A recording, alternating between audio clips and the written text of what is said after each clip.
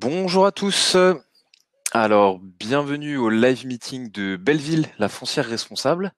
Euh, on va encore attendre quelques minutes que tout le monde soit bien connecté. Euh, alors, de mon côté, est-ce que vous m'entendez bien? Si vous pouvez confirmer sur le chat que vous nous entendez bien. On nous entend bien. Alexandre, je t'entends aussi. Ça fait du bruit. C'est ça. Alors, vous pouvez enlever le bruit des notifications du chat en appuyant sur la petite cloche euh, tout en haut. Et euh, du coup, vous auriez pu les notifications. Euh, aussi, sur la droite, vous allez trouver un onglet questions ainsi qu'un onglet sondage. donc, vous avez deux petits sondages auxquels vous pouvez répondre. L'onglet questions pour euh, idéalement euh, voilà pouvoir euh, suivre et répondre toutes les questions. c'est beaucoup plus facile via questions que dans le chat. Donc n'hésitez surtout pas à poser vos questions. On y répondra juste après le pitch de, du projet. Donc voilà pour le, le déroulé, les entrepreneurs vont commencer par vous présenter la foncière, ses projets, la raison de la, de la levée de fonds sur l'ITA. Et, et, du coup ensuite ils prendront le temps de répondre à toutes vos questions. Et les raisons pour investir. Euh, bah voilà. J'ai l'impression qu'on a pas mal de monde. Euh, Alexandre, si tu es prêt, on va pouvoir. Euh, on commence? Yes, c'est bon. Bah, bonjour à tous. est-ce que toi, Vincent, tu m'entends? Est-ce que tout le monde m'entend? Moi, c'est bon. C'est bon? Ok. Euh, donc bonjour à tous, euh, déjà ravi d'être euh, d'être là parmi vous ce soir. donc peut-être certains d'entre vous étaient là la dernière fois, on a fait un, un il y a quelques il y a une semaine environ. donc pour la présentation, bah, ceux qui l'ont déjà vu, on, on, la repassera rapidement. Et puis voilà, l'objectif ce soir, c'est vraiment donc de répondre à toutes les questions, à toutes les interrogations que vous pouvez avoir. Euh, c'est un projet qui est très très riche, euh, j'imagine comme beaucoup de projets en création, mais euh, de notre côté, ça fait énormément de temps qu'on travaille dessus. Donc tous les associés de Belleville sont là dans le chat. Sébastien, François et, Jérémy sont là, donc ils, peuvent répondre aussi en, parallèle, moi aussi, et je pense qu'on on essaiera de bah, qu'ils soient présents aussi à la caméra pour, pour répondre à toutes les questions. Et donc voilà, nous l'objectif c'est vraiment de prendre du temps de d'échanger avec, avec vous. Euh, c'est assez enrichissant pour nous, donc euh, c'est l'objectif principal. Donc concernant Belleville, euh, je, vais, je vais vous faire une petite présentation rapide et, et puis on y reviendra si vous voulez, si c'est pas assez approfondi. Donc voilà, je vais passer ici la présentation. Je sais pas si, si elle est visible. Mmh euh, voilà, donc euh, au sein de est, euh, on est quatre associés, donc Jérémy, Sébastien, que vous voyez à l'écran, François et, moi, avec des expériences et des expertises assez complémentaires depuis, depuis pas mal de temps. On, travaille tous dans le monde du commerce, de l'immobilier, le secteur de l'architecture, la transition sociale et écologique et, des, grands, des grands projets, des grosses réhabilitations.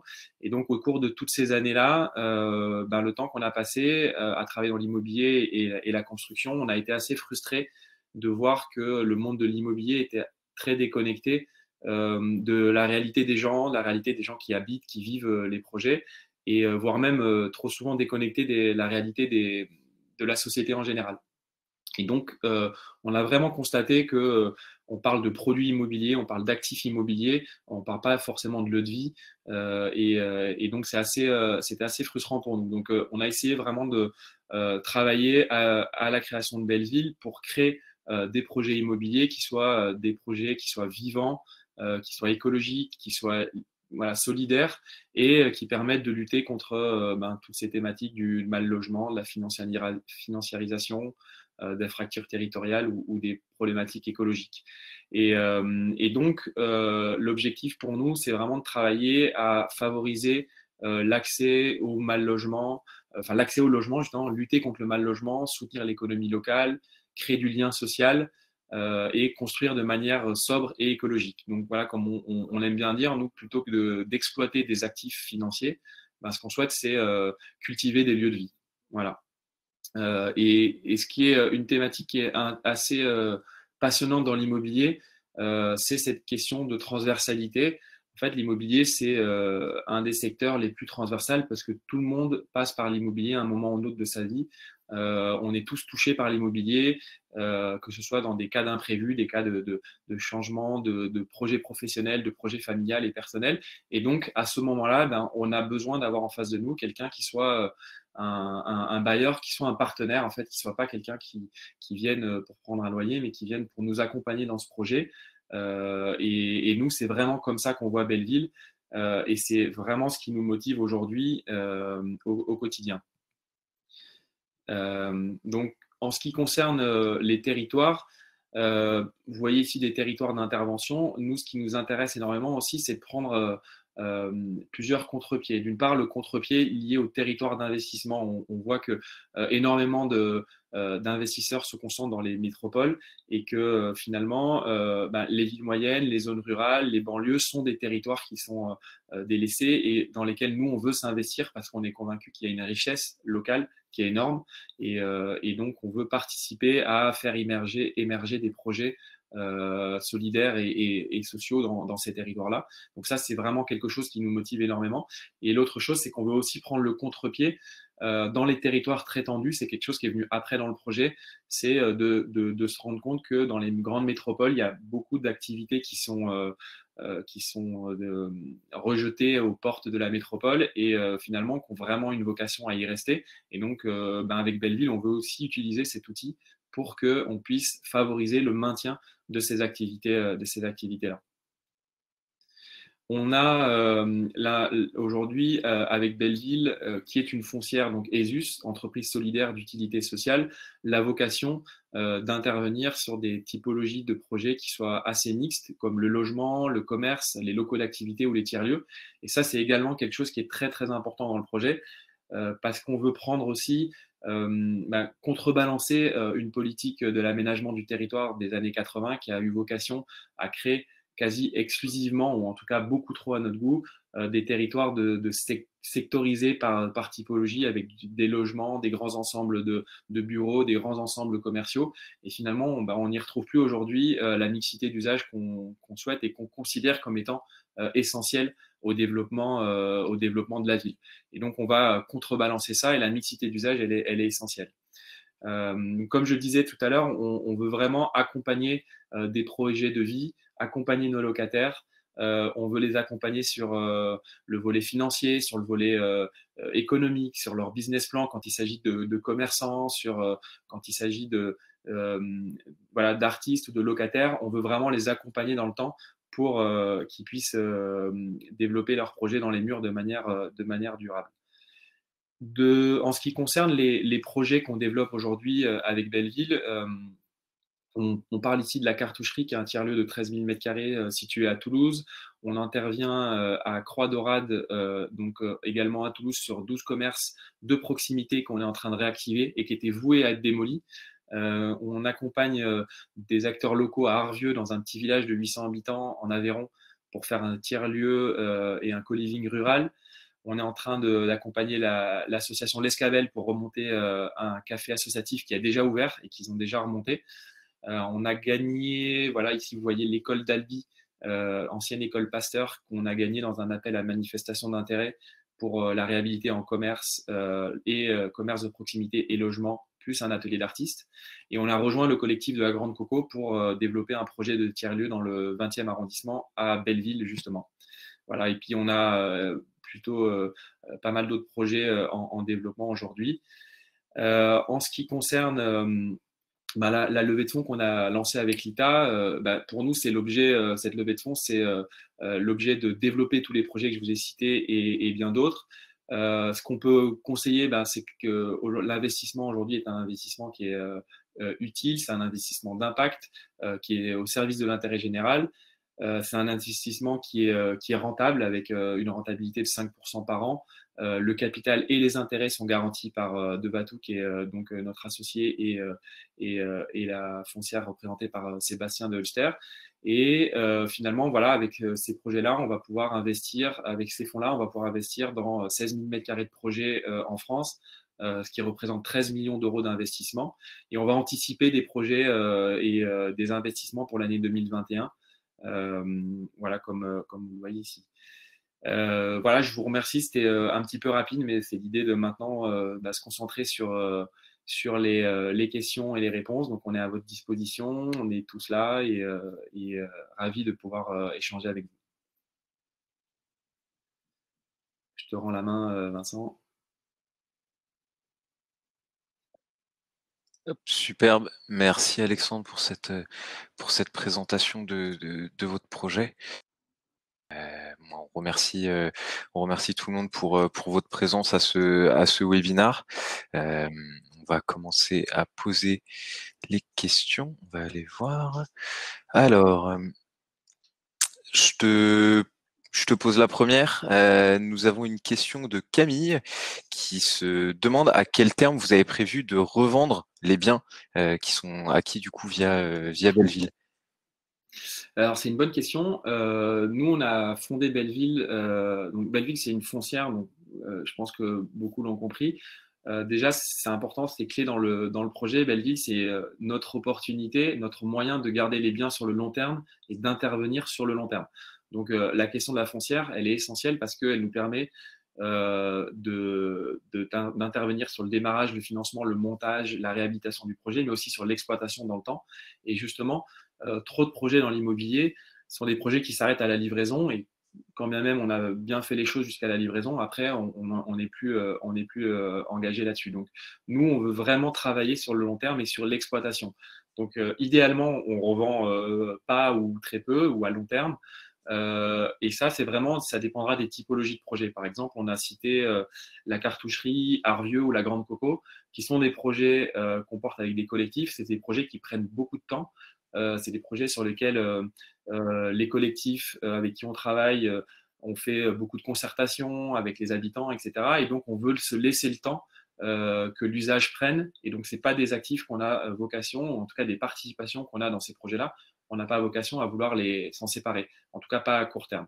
Euh, et euh, pour des projets parfois un peu, un peu différents, par exemple, on, travaille sur euh, des acquisitions de portefeuilles de, commerce. Donc ça, les portefeuilles de commerce, c'est assez intéressant parce que on peut mettre à disposition des locaux commerciaux dans des, dans des villes ou dans des centres-villes à des porteurs de projets. Donc une fois que le projet est bien ficelé, qu'il est bien euh, qu'il est bien monté, on peut avoir vocation donc, à se séparer des biens. Et donc là, nous, dans notre modèle économique, on part sur une, une détention à 5 ans. Donc pour l'instant, la modélisation qu'on a faite, c'est une détention, une revente à 5 ans de, 20, de 50% des biens qu'on aurait acquis 5 euh, ans auparavant. Donc ça, c'est le, principe général. Après, on fait vraiment du cas par cas. Euh, voilà. Très bien, c'est très, c'est très clair. On a une autre question euh, qui parle du, de la garantie qui demande, c'est Florian qui demande si le rendement est aussi garanti. Et j'ai vu qu'on a une autre, euh, une autre question et je pense que ça va permettre de connecter. C'est Marine qui demande le, lien que vous entretenez avec Devatou. Je pense que euh, peut, on peut du coup connecter ces deux questions sur vraiment la garantie qui passe par Devatou du coup. Ouais, euh, bah, c'est une bonne question. Donc, en fait, euh, euh, Sébastien sera là, je pense que tout à l'heure. Alors, j'en profite juste, je crois, j'aurais juste un message que m'a envoyé Sébastien ou Jérémy. Je crois que j'ai. Sébastien est dans le coin, puisqu'il répond aux questions voilà, ok. parallèles. dès, dès que venir venir, Sébastien. Mais en gros, ce qu'on peut dire sur De Vatou, c'est que nous, on s'est rencontrés euh, et je pense que ça répondra à plusieurs questions. Euh, on, a beaucoup travaillé avec, euh, on se connaît depuis une quinzaine d'années avec Jérémy et, François. c'est un projet qu'on avait mûri, qui a passé par plein d'étapes. Et, les dernières années, bah, on a eu la chance de rencontrer Sébastien, qui lui est président de Debatou donc une foncière familiale. Euh, il en parlera très bien. Je ne vais, pas m'étendre, mais une foncière familiale qui, existe depuis une quarantaine d'années, qui est une très belle foncière qui euh, détient 550 commerces en France euh, dans 60 villes et 200 logements. Et donc, Sébastien, il travaille déjà dans le commerce de proximité, dans les villes moyennes depuis plus de, 15, 15, à 20 ans. Et on a eu énormément de, de, voilà, de connexions ensemble sur le projet qu'on portait et on a pu voilà, déplacer euh, et, transformer Belleville de ce qu'on avait imaginé au démarrage euh, à trois. Ben, on l'a transformé ensemble avec Sébastien pour en faire quelque chose d'encore plus fort avec une dimension du commerce qu'on n'avait pas avant. Donc, euh, De Batou, c'est avant tout, bah, avec Sébastien aussi, toute cette compétence dans le commerce et dans le, financement de projets, dans l'immobilier. Et ensuite, ben, dans le lien capitalistique, aujourd'hui, Devatou détient 70% de, de Belleville. Donc, ce qu'il faut savoir, c'est que ça, c'est vraiment un argument très fort dans l'immobilier pour pouvoir être crédible vis-à-vis de tous les investisseurs institutionnels et, et, même les villes avec qui on travaille. Donc, on a gagné Albi, voilà, on, a, on a vraiment cette capacité à rassurer. Ce qui n'est pas le cas dans tous les projets. Le projet, la création de Belleville date de fin d'année 2019. Aujourd'hui, on va faire 13 millions d'euros d'investissement. on est déjà appelé avec Belleville comme étant un partenaire qui garantit une faisabilité immobilière d'un projet. Moi, j'aime bien, on aime bien cette notion. C'est en fait, on va intervenir aux côtés de collectifs qui sont issus de la société civile parfois et qui sont des gens engagés, militants dans leur projet. déjà, c'est hallucinant la, façon dont ils arrivent parfois à monter des projets immobiliers sans être du secteur. Mais ce qui est chaque fois le cas, c'est qu'ils euh, vont être confrontés à une problématique financière immobilière euh, et que euh, cette problématique-là qu'ils vont rencontrer, il faut qu'on les aide et, les, et, même la Caisse des dépôts, tous les, grands financeurs institutionnels vont exiger de leur part un certain un minimum de garantie. Et aujourd'hui, grâce à la présence de Batou, est à même de dire, nous on amène une expertise immobilière forte, euh, une compétence dans le monde de la construction, de l'architecture, comme je disais tout à l'heure, aussi de la transition sociale et écologique, des engagements qu'on veut porter, mais aussi on peut amener une garantie financière et, euh, et ça, euh, c'est très apprécié parce que beaucoup d'acteurs du territoire disent on veut vraiment ce projet, on voudrait qu'il se développe, voilà, qu'on voudrait accueillir ce projet dans notre ville mais comment on, s'assure qu'il va, tenir. Donc nous, on intervient là-dessus. Et donc le lien avec Devatou, il se, fait à ce sens-là. Maintenant, c'est euh, euh, un projet qui est vraiment euh, porté de manière équitable entre les, associés. Et donc, une fois qu'on a une assise financière qui est suffisamment solide, on va rétablir le, le, capital parce que c'est un projet qui est complètement indépendant. mais il faut savoir, et ça tout le monde le sait dans l'immobilier, euh, euh, ça nécessite euh, du temps, ça nécessite voilà, des, capitaux pour, des garanties en fait. Et on nous demande en, permanence des garanties. Et ça, il faut qu'on puisse l'amener. Et je pense que Sébastien, tu es là? Oui. ouais, salut. Ben, voilà, je oui, Alexandre a été bien complet. nous, c'est important. C'est vrai que si vous voulez, pour, il y a cette question de, du lien entre Devatou et, et Belleville. Moi, je, euh, c'est une belle aventure. On s'est bien rencontrés. Euh, ça, il y, a, il y, a, 20 ans, quand j'étais étudiant, on avait créé une, société, euh, une association de développement durable.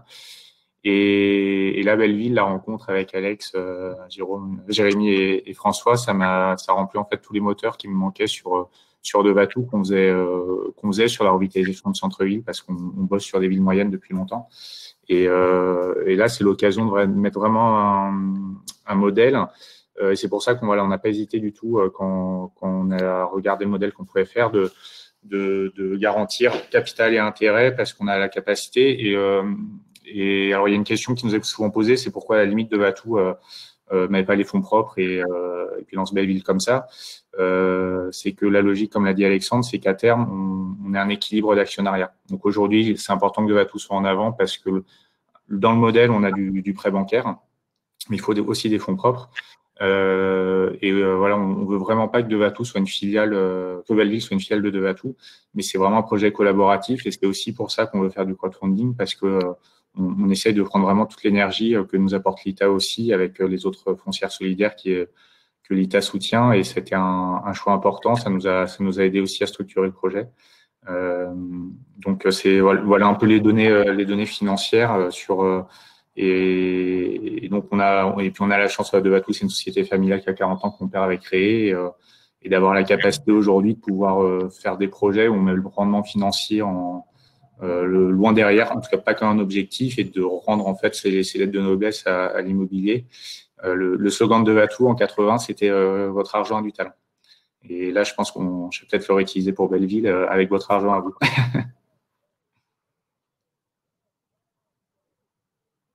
Effectivement, effectivement, votre argent a, a du talent et, et, on leur donne du sens euh, via via l'ITA. Euh, on a justement une question un peu dans, dans, la même veine sur, sur l'apport de l'ITA, notamment en termes d'image, mais voilà l'intérêt de passer par l'ITA pour, pour cette levée de fonds. Tu as répondu en, en partie aussi, mais c'est important d'avoir finalement de. Je trouve que même si les obligations et voilà, on n'a pas d'obligation par contre derrière d'avoir un, lien avec une communauté. On a fait du crowdfunding avec WeSeed par exemple, mais Là, on, cherche une communauté. Voilà, c'est un projet différent. C'est vraiment de l'ESS. Euh, c'est de l'immobilier de l'ESS. On veut chercher les forces des deux côtés. Et euh, voilà, je vois vos questions aussi. Et euh, moi, j'ai des questions. Voilà, le crowdfunding qu'on a fait avec Occicide et ça s'est super bien passé. C'était une belle expérience, mais que des questions financières. Euh, là, là, ça, vraiment toutes les étapes qu'on a passées pour, pour en arriver ici, euh, elles ont été vraiment challengeantes. Et on, ça nous a fait travailler aussi nos grilles d'impact, réfléchir aux projets qu'on pouvait mener. Euh, et c'est vraiment important de, de, participer à cette communauté ESS. Et je, pense que l'ITA est vraiment, pour nous, en tout cas, on le, on le voit comme une référence euh, quand même de, de, ça avec les investisseurs de l'ITA qui, qui sont là pas. Il y a une notion financière aussi, mais un peu comme nous quand on fait notre métier. Mais si, vous vouliez faire de l'argent, vous iriez sur d'autres d'autres produits et, on va chercher aussi euh, euh, euh, ce dispositif et d'avoir vraiment une belle rencontre. Il y, a, eu beaucoup de commentaires. On a, je profite de ça sur, la fiche projet euh, de l'ITA. Et donc, on, je ne sais pas si les personnes qui sont là en ont fait, mais on était hyper contents de voir ces commentaires parce que ça amène voilà, un panel de, de partenaires énorme en fait. Et finalement, le projet qu'on porte là, c'est vraiment un projet partenarial qu'on veut partenarial à tous les niveaux. Que ce soit un, projet partenarial dans les avec les investisseurs, avec les investisseurs particuliers, avec les banques, avec les institutions. Euh, c'est un projet qui est partenarial avec euh, euh, les architectes, avec nos bureaux d'études, avec tout le monde de la construction et, les entreprises, les entreprises locales, les, les, artisans également.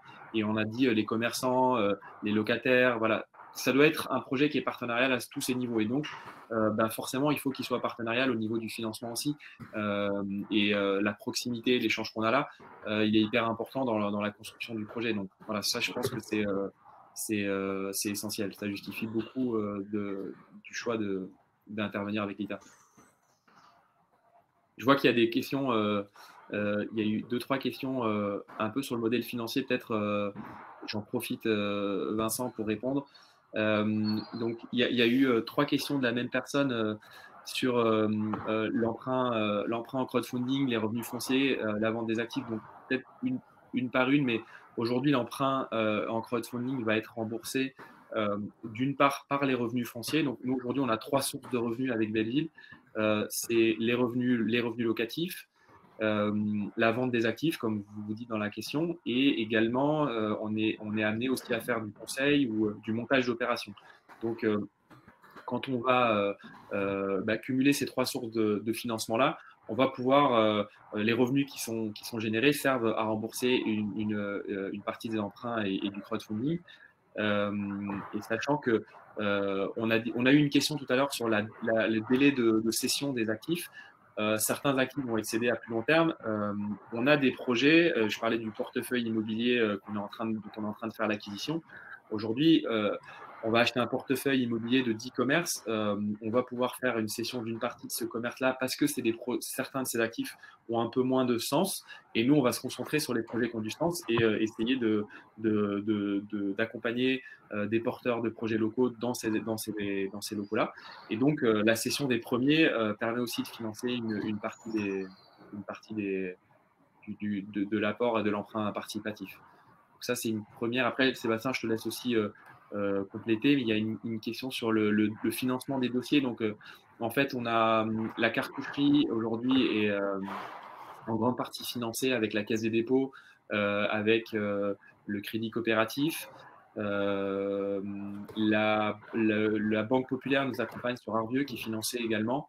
la Caisse des dépôts est en train de travailler sur le dossier de, de la Grande Coco également. Donc voilà, ça c'est les principaux projets, euh, je sais pas si j'en oublie, euh, mais globalement, ceux qui sont euh, déjà financés, sachant que par exemple Albi est en cours de financement actuellement. je regardais sur les fonds récoltés en crowdfunding certifiés de fonds propres dans une opération de construction euh, ou pour l'exploitation. Donc, ils servent, ils servent aujourd'hui les fonds propres que nous on amène sur les opérations ce sont des fonds propres qu'on doit mettre au démarrage de l'opération. Donc, on doit les mettre euh, aujourd'hui. Les fonds propres qu'on met euh, servent aux honoraires de maîtrise d'œuvre, aux dépôts de permis de construire, à la phase de préfiguration, aux honoraires de conseil. voilà, globalement, les fonds propres sont mis au démarrage de l'opération euh, et la dette bancaire sert à partir du moment où, euh, selon les cas et les risques du projet, euh, le permis est, déposé. Je rebondis sur le, sur le modèle aussi, sur les fonds récoltés. Donc, on n'a pas d'opération de construction prévue aujourd'hui, mais ça viendra, mais avec quand même l'objectif de ne pas avoir d'artificialisation de, de, de, terre. Ça, c'est un point important pour nous. et et si les fonds sont utilisés en exploitation, dans Belleville, sur beaucoup de projets qu'on a aujourd'hui,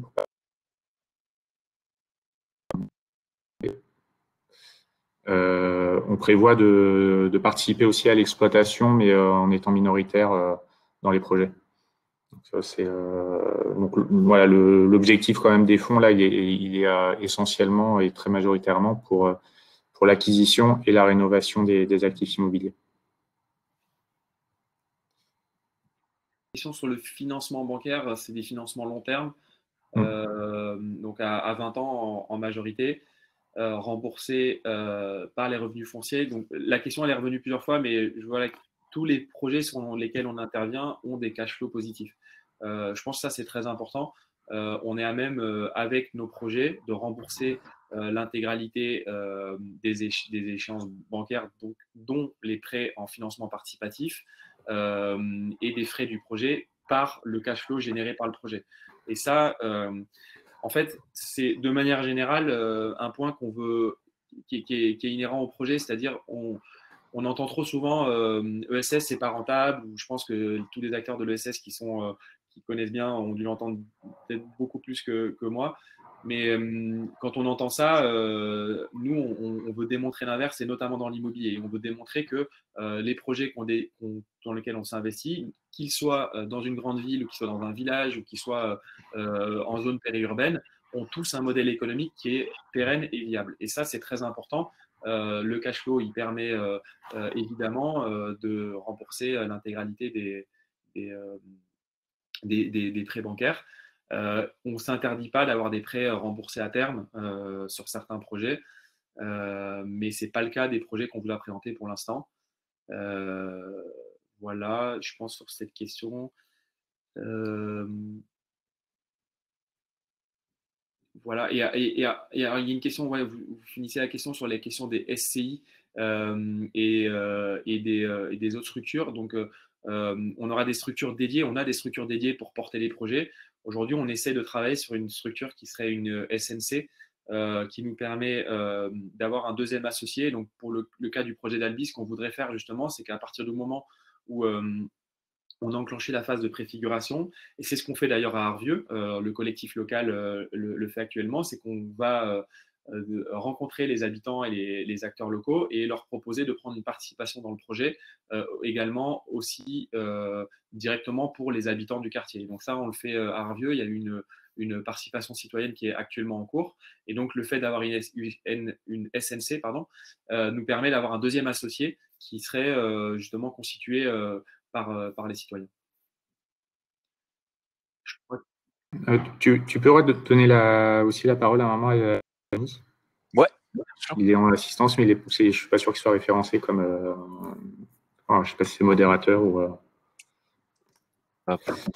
et euh, voilà, Jérémy, donc, le troisième des quatre associés, donc c'est le, le, gérant de Palanca et, et, fondateur, et aussi d'Allo Bernard, et c'est celui qui, c'est notre poil à gratter ESS qui, qui nous challenge euh, toujours pour savoir si, voilà, si, on est, si on est sur la bonne ligne. Donc, c'est celui qui maîtrise le mieux. Je pense que j'aimerais bien qu'il réponde aussi à la question du. Euh, parce que c'est une question qui est importante euh, d'Alexandre sur, sur le, le, rendement de 5% qu'on propose sur ce projet, sur notre levée de fonds, et qui pourrait être considéré comme contradictoire avec l'aspect sociétal. reprends les mots. voilà, je pense qu'il interviendra là-dessus. Voilà, je vais essayer. Euh, j'en profite pour répondre à Mathieu Inès là, qui, disait qu'il avait des questions sur, le, sur la crise sanitaire et euh, finalement le. Euh, est-ce que ça nous a apporté des modifications? Est-ce que c'est plus compliqué pour nous? C'était une grosse question, surtout, surtout au moment de lancer, parce qu'on voilà, on est dans le starting block depuis un, depuis un moment, mais finalement, on n'a pas eu à modifier vraiment le, projet Belleville parce que tout ce en quoi on croit de, sur notre modèle, euh, finalement, répond aux attentes et, euh, a été mis en exergue par le Covid. Euh, nous, on croit à la ville du quart d'heure où, comme le disait Alexandre, c'est pas des quartiers ultra spécialisés, donc des quartiers où on a de l'activité économique, du commerce, de la production, de l'artisanat, du logement, de la culture, du sport, un peu tout au même endroit. On croit au circuit court, on croit à la revanche des territoires, la revanche des campagnes, là, qui, est, quand même très mise en avant. Euh, quand on fait le Harvieux, par exemple, l'investissement, on est vraiment là-dessus. Hein. C'est Harvieux, c'est un village dans l'Aveyron avec euh, donc 800 habitants et qui est, euh, un village référence de, la transition euh, du, rural, transition numérique et qui a, bien pris le chemin. Donc, on, nous, finalement, le Covid nous a vraiment renforcé dans, dans, dans ce qu'on pensait et, et quand on participe à des groupes de pensée sur ce que sera l'immobilier après, on, se rend compte que on n'a pas, on n'a pas eu à faire changer notre discours et, notre volonté. Et, euh, et, sur la donnée économique, euh, ça répondra à une autre question aussi. Aujourd'hui, on est à, on est à près de 600 000 euros collectés en une dizaine de jours sur l'ITA, et euh, sachant que euh, notre réseau professionnel n'a pas été encore euh, mis en ordre de marche parce que c'est voilà, on a on a 400 500 000 euros dans les tuyaux avec eux, mais qui ouais, ça se fait ça se fait plus en se rencontrant. Donc là, on va attendre le mois de juin de, de pouvoir les voir.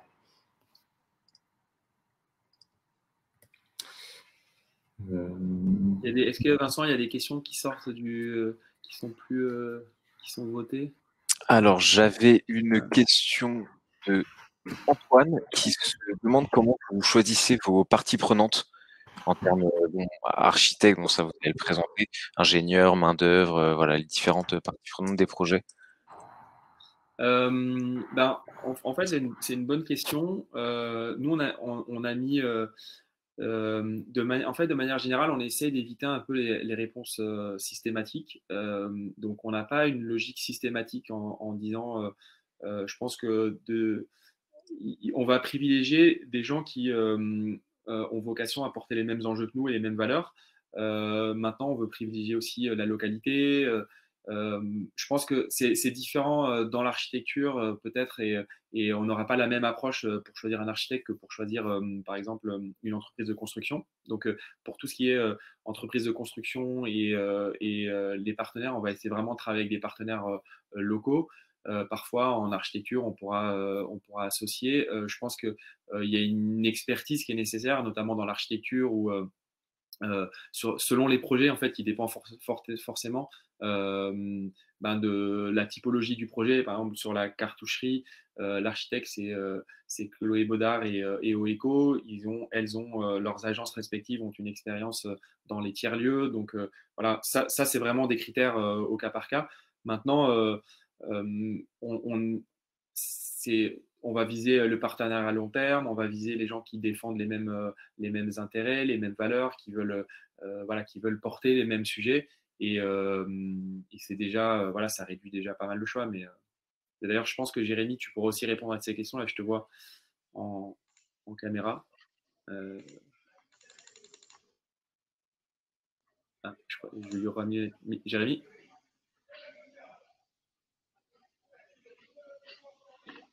Sais pas s'il est là.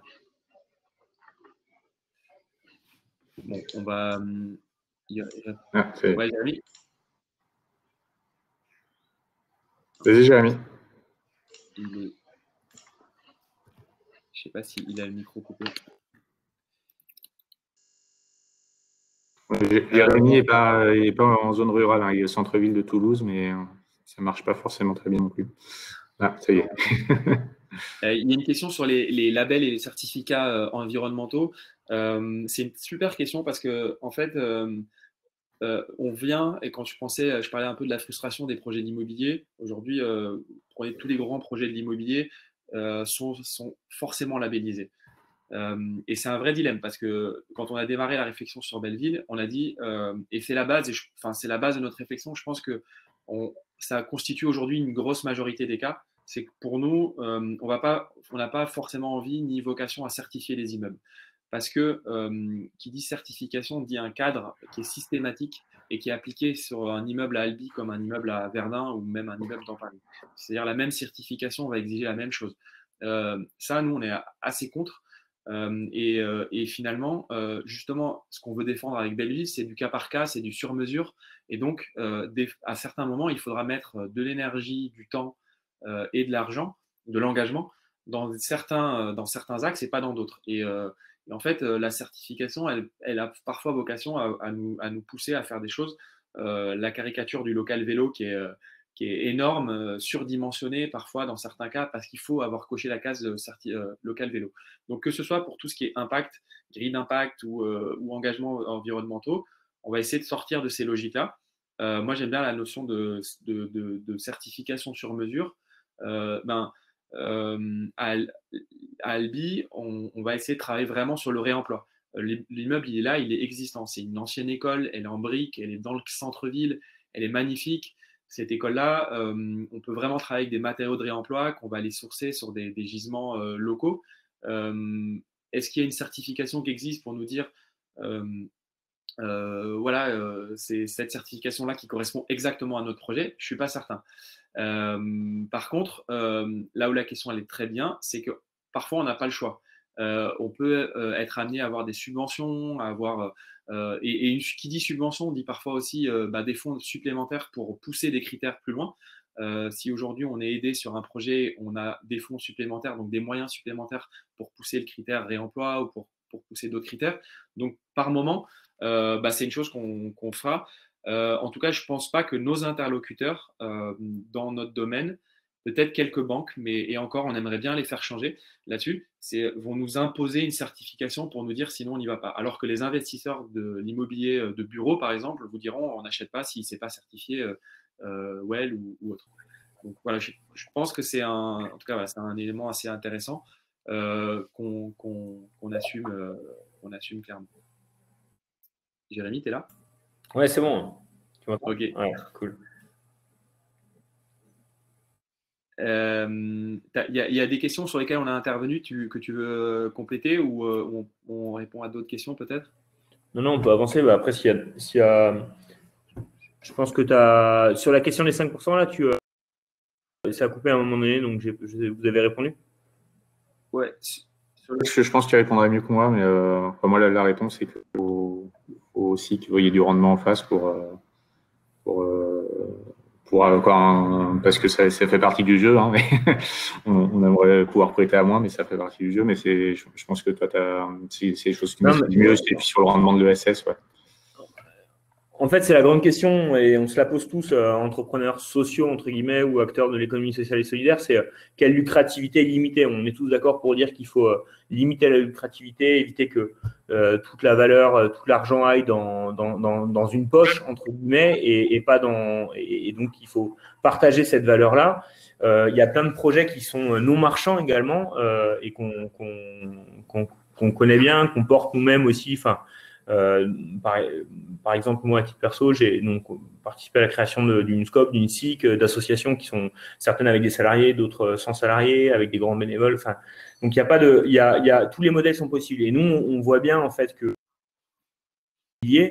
euh, le, rendement et là, on doit avoir une, forme de, lucrativité assumée, sinon on peut pas, on peut pas développer de projet. Euh, les, ceux qui nous mettent le plus la pression, il faut se rendre compte euh, sur les rendements, euh, c'est les banques. Euh, c'est euh, beaucoup plus d'ailleurs que les apporteurs de fonds propres. C'est ça qui est hallucinant, c'est-à-dire qu'on est, il y a euh, des, fois on aimerait faire des projets avec des programmations complètement atypiques qui vont qui vont très loin dans la non lucrativité. Et en fait, ça passe pas parce que parce que les banques nous, nous imposent des, des des, des, choses. Et même nous, on pense qu'aussi c'est pertinent d'avoir des des rendements pour sécuriser un peu un peu tous ces investisseurs. bah voilà, peut-être que demain on arrivera à faire comme Terre de Liens qui arrive à, offrir des rendements très très faibles, à 1% euh, par exemple, parce que ces investisseurs sont très militants, entre guillemets, et sont prêts à avoir un rendement qui est juste par exemple de l'ordre de grandeur de, l'inflation, euh, ça serait juste génial parce que ça voudrait dire que en fait toute la, valeur qu'on capte, qu'on garde dans le projet et qu'on rend pas à, à, à l'investisseur, on pourrait la mettre au service d'autre chose. Euh, et pas de nos salaires à nous ou, euh, euh, ou alors de, de, nos dividendes. Non, non, pas du tout. Au service de matériaux utilisés plus intelligents, au service de loyers peut-être plus réduits parce qu'il y a des personnes qui ont besoin de ces loyers réduits pour démarrer des activités ou alors des locataires qui n'ont pas la capacité à payer voilà, des, des choses. on pourrait la mettre, voilà, et c'est ce que disait Alexandre sur cette logique de partage et de partenariat en gros, et en fonction du projet, arriver à avoir euh, euh, un partage de la valeur euh, la plus équitable possible. C'est vraiment le principe du commerce équitable hein, appliqué à l'immobilier. Voilà. Je vais aussi rebondir là-dessus. On, a, une volonté aussi, ça c'est un peu mon, dada, c'est, une volonté d'être démonstrateur, même sur, le, sur, sur les professionnels de l'immobilier, que ce qu'on fait aujourd'hui, qui peut paraître ESS, e exceptionnel, innovant et compagnie, moi, j'ai la conviction dans 10 ans, euh, et je l'espère, c'est que voilà, ce sera la, ce sera la norme. Euh, et pour répondre à Cyril là, sur, le, sur la différence entre une foncière standard et euh, ou par exemple, quelles sont les différences Est-ce qu'on va choisir des locataires un peu plus risqués? Euh, moi, Je me rends compte depuis, depuis le projet de la cartoucherie où, où il y a ce choix de locataires qui sont différents, avec des niveaux de loyer qui sont très très différents, puisque sur la cartoucherie, le, sport et la culture vont être sur des loyers à 60-70 euros, là où la restauration va être à 400, mais ça crée un équilibre. Et maintenant, je l'assume, moi, sur les petits centres commerciaux de proximité, on le fait sur Croix Dorade, où euh, bah, je vais mettre des associations, je vais mettre des, porteurs de projets, où je leur dis, euh, je vous file les clés du, local pendant un an, et dans un an, on se revoit, et vous me dites euh, le chiffre d'affaires que vous avez pu générer, et du coup, le loyer que vous, avez, vous pouvez me payer. Et et, c'est, euh, et finalement, en faisant ça, voilà, je, donne un, un croix dorade, euh, c'est, euh, une quinzaine de commerces. Donc, si on fait un commerce comme ça, on parle de 7%, grosso modo, du projet. 7%, c'est peanut. Si, si, finalement, si, si vous abandonnez 7%, euh, à la fin de l'année, votre résultat, il, sera quasiment le même, parce qu'en plus, c'est pas 7% que vous avez abandonné, peut-être 3 ou 4.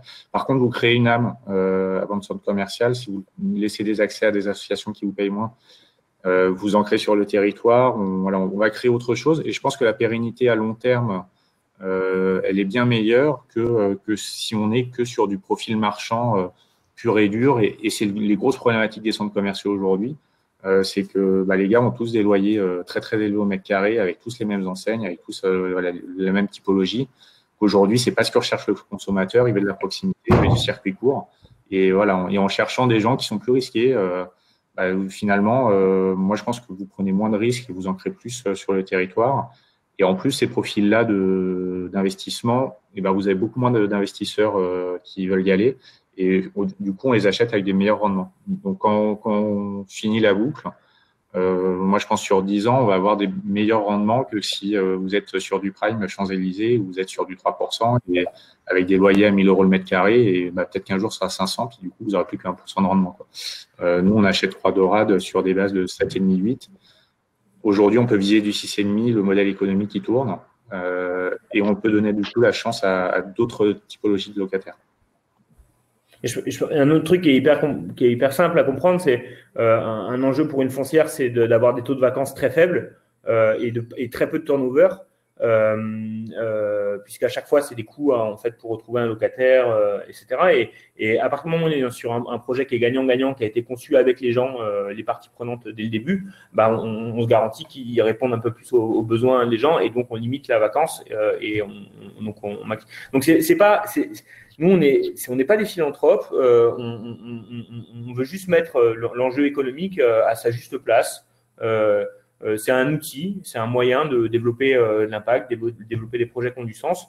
Euh, on veut absolument pas, euh, on veut partager cette valeur euh, et, et, on veut utiliser aussi cet outil qui est l'argent pour pour développer le projet et, et, alors on pourra parler d'ailleurs de territoire. Je pense que c'est des questions qui reviennent où on aimerait développer nos projets, mais voilà donc on, on et on veut pas non plus rentrer dans dans, le truc à l'inverse où, où un peu à la Bill Gates ou, compagnie, où, une fois qu'on a gagné beaucoup d'argent, on, en donne euh, et ça, ça crée d'autres problèmes.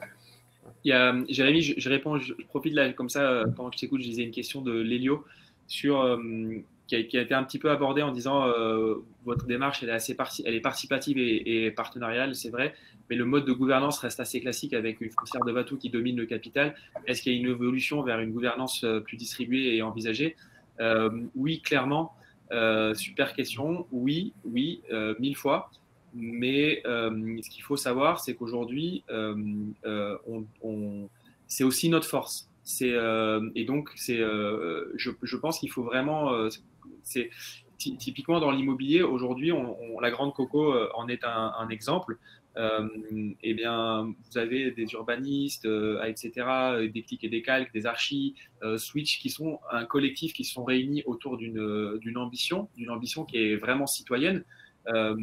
et, ben, ces gens-là, aujourd'hui, si jamais on ne bossait pas avec eux, ils auraient eu un acteur de l'immobilier autre que Belleville qui euh, aurait été imposé par euh, des partenaires financiers en leur disant il faut quand même qu'il y ait quelqu'un qui garantisse que euh, ça va tenir dans le temps et que structurellement, même financièrement, quelqu'un va, va, va, va, pouvoir assumer ça, même si le projet est génial. Et, nous, bah, quand ils, ils, ont, ils sont venus nous chercher, c'est aussi euh, parce que euh, on a cette capacité de garantir ça à la fois dans la, forme, dans, la manière dont on travaille, dans nos, compétences, mais aussi dans, la structuration de la société. Donc aujourd'hui, on, on, euh, pourrait pas avoir autant d'impact si on était structuré différemment. Par contre, comme je disais tout à l'heure, notre but, c'est vraiment de, de, de, d'en avançant, de restructurer ça pour rééquilibrer les choses euh, euh, et, on a plein de solutions qui ont été euh, portées, donc qu'on est en train de travailler, notamment sur, sur les SCA.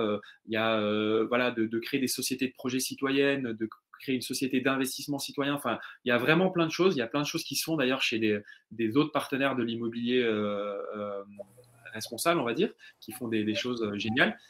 Jérémy citait Terre de Liens tout à l'heure, c'en a un excellent exemple. Donc, nous, on va aller vers ça, mais par contre, il ne faut pas oublier que les projets qu'on porte euh, sont des projets euh, qui, sont, gros, qui nécessitent euh, cette assurance-là et que notre force, elle est vraiment là. Et je pense que on a été vraiment souvent appelé, on était même surpris par ça. tous ces collectifs, on en a eu plusieurs qui nous ont dit, ben, en fait, si c'est nous qui sommes à leur côté, on garantit que leurs leur valeurs initiales, eh ben, elles vont rester, elles vont traverser le projet et à la fin, à la livraison, on retrouvera la même chose, le maximum de ce qu'il y avait au début. Euh, or, euh, en fait, le gros problème, c'est euh, dans, tous les projets, c'est il y a beaucoup de rêves au début, et puis après viennent les financiers, on dit, ou les, et après tout, part, et il reste que voilà. Donc, nous, on veut vraiment utiliser cet outil, et je pense que c'est une force. Maintenant, la question amène à, cette, ces restructurations essentielles. Ça, ça, je sais pas si on m'entend. Ouais. ouais. ça parlait de ça parlait de SIC également, euh, euh, euh, Société coopérative d'intérêt collectif, pour ceux qui, donc, on, pour, pour, on, en crée une en société d'exploitation sur la cartoucherie, on est partenaire de nombreux SIC. Enfin, moi, j'en gère une aussi en ce moment avec Allo Bernard. c'est des modèles hyper intéressants. Euh, euh, on travaille avec euh, des acteurs comme par exemple Finacop. enfin, on en discute beaucoup de, de, la place des SIC dans l'immobilier. Alexandre a parlé du modèle SCA, Société en communauté, communauté par action, qui sont aussi des modèles très très intéressants. Aujourd'hui, plus plus, plus utilisés. donc voilà, il y a des portages fonciers, il y a les, il y a il y a les sociétés d'exploitation. En tout cas, le, et, et, on, est vraiment ouvert à, Le but étant, en fait, de partager euh, la valeur, euh, ça c'est évident, euh, d'avoir une gouvernance qui soit suffisamment partenariale tout en étant efficace. en début de projet, on ne fait pas la même chose que quand on a 10 ans ou 15 ans d'activité. on a aussi, on n'a pas parlé d'un comité ESS forcément, donc on est agréé ESUS, donc on a aussi des partenaires qui vont intégrer ce, ce comité ESS avec différentes différents mandats et, euh, et, et pour, pour, à la fois contrôler notre impact et puis à la fois participer à améliorer le projet. c'est qu'importe, on va dire un peu le statut, si à la fin on, on, arrive à avoir quelque chose qui est, qui, est, qui, est, qui est logique en termes de gouvernance et de partage des richesses.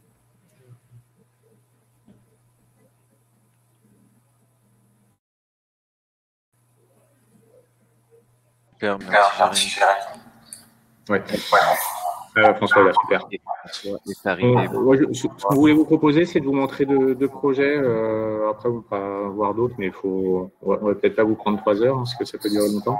je pense qu'il y a plusieurs questions sur la cartoucherie, donc savoir où, où, on en est et ce qui se passe. la cartoucherie, pour rappel, c'est 13 500 mètres carrés dans Toulouse, avec une grosse partie en réhabilitation, donc la halle, et une construction de salle de spectacle de 3000 mètres carrés.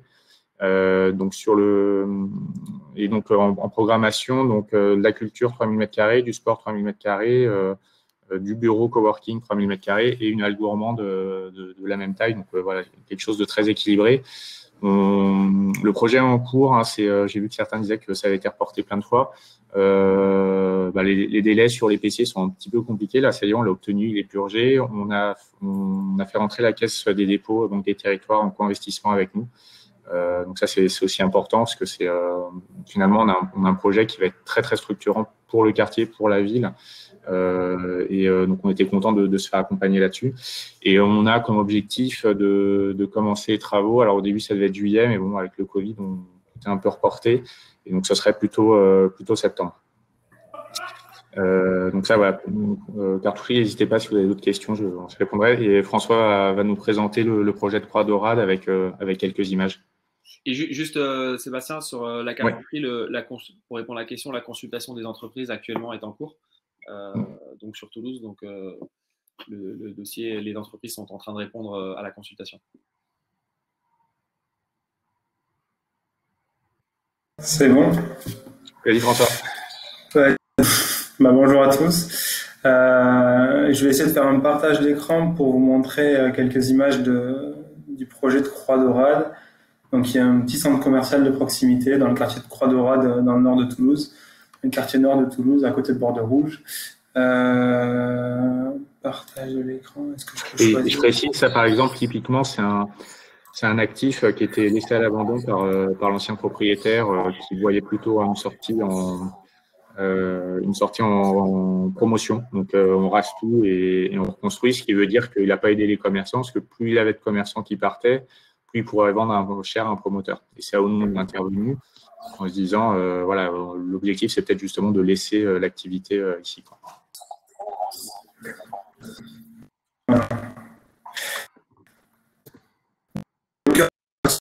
Euh, Alex parlait mixité pour le coup. Après, dans ce quartier-là, il y a énormément, c'est assaisonné, donc très de, de exclusif. Et au milieu de ça, on a ce commercial qui était euh, plus paraître du fait de pressions sanitaires. Et, euh, et avec Belleville, nous, c'est euh, justement de dire, ah ben non, il y a vraiment un lieu de solution qui est là, qui existe. Il faut le redévelopper, le redynamiser, le refaire vivre pour que ça redevienne un échange, une rencontre au cœur de ce quartier résidentiel. la tendance le raser pour faire encore plus de, de logements. beaucoup euh, euh, ça, ça entraînerait sur euh, de la vie dans du moins euh, de, sa, de sa mixité. Quoi. Après, euh, c'est pas pour ça qu'on va spécialement dans ce projet-là, parce que la nature n'a pas d'immense qualité architecturale. On pense socialement, il y, il y en a beaucoup plus s'il y a une qualité architecture qui est euh, flagrante, euh, sur tous les projets, beaucoup à, quasiment exclusivement à la question de la construction, parce que si on veut faire du développement durable dans la, dans la construction, la question à se poser, c'est euh, est-ce qu'on peut conserver euh, qui existant et redonner une nouvelle qui euh, moins impactant que construire le plus neuf, plus euh, sobre possible. Euh, donc, c'est le point de vue. là, on va une dizaine de commerciales avec euh, qui étaient euh, 5 ou 6 qui étaient, euh, Sébastien, peut corrige-moi, mais qui étaient, euh, qui.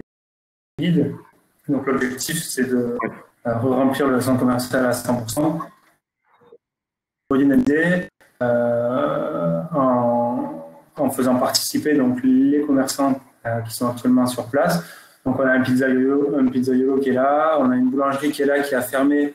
on vient d'installer un collectif d'architectes dans ces locaux-là qui est à la recherche de locaux et donc qui vont participer aussi à la préfiguration et à la redynamisation du centre commercial. Il y a un petit Spark qui est juste à côté. Alors, je vais peut-être vous montrer euh, euh, une, petite axo, une petite axono, il y a un petit document de travail euh, qu'on a, qu'on a fait et qui va servir donc de, de, de document partagé pour travailler en concertation avec les habitants, les commerçants sur place. donc ça, c'est une vue axonométrique du centre commercial. On a donc un petit spar, une pizza, euh, un tabac, un petit institut de beauté. Et... On voit pas l'écran, je pense qu'il y a un petit. Ouais. Euh, Attends, je vais. Ouais. ouais ça... On voit plus. Attends. As la bande tu vous voyez le mien ou pas? Après, je ne ouais. je suis pas sûr que ça marche. C'est bizarre parce que. Vas-y, pardon. Pourquoi je suis sur cette page là Attends, je refais. Euh, tac. Ok.